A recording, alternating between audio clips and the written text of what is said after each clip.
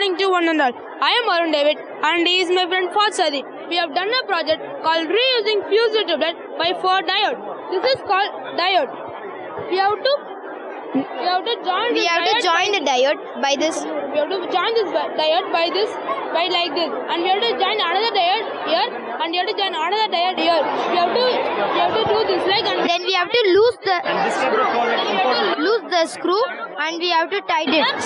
and we have to join it to the screw then we have to lose the screw and we have to take the wire and we have to connect it here and we have to connect this then we have to plug this Square it in the. plug and we have to plug and switch on the light will glow We don't need a. for this project We don't need starter starter. if we take this means the light will not be working. Thank you.